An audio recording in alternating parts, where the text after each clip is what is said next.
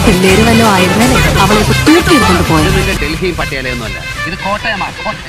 കാഞ്ഞിരപ്പള്ളിയും പാലയും മീനച്ചനും ചങ്ങനാശ്ശേരിയും ഒക്കെ അടങ്ങുന്ന കോട്ടയം. കാലേവാരി പാലാപാലത്തിന് താഴെ കിട്ടും മീനച്ചിലാറ്റി കോട്ടയം ക്ലബിൽ നിരി ഇടി മേടിച്ചാൽ പിന്നെ നേരെ കോട്ടയ്ക്കൽ ആര്യവൈദ്യശാലയിലാക്കി അതാ കണക്കിന്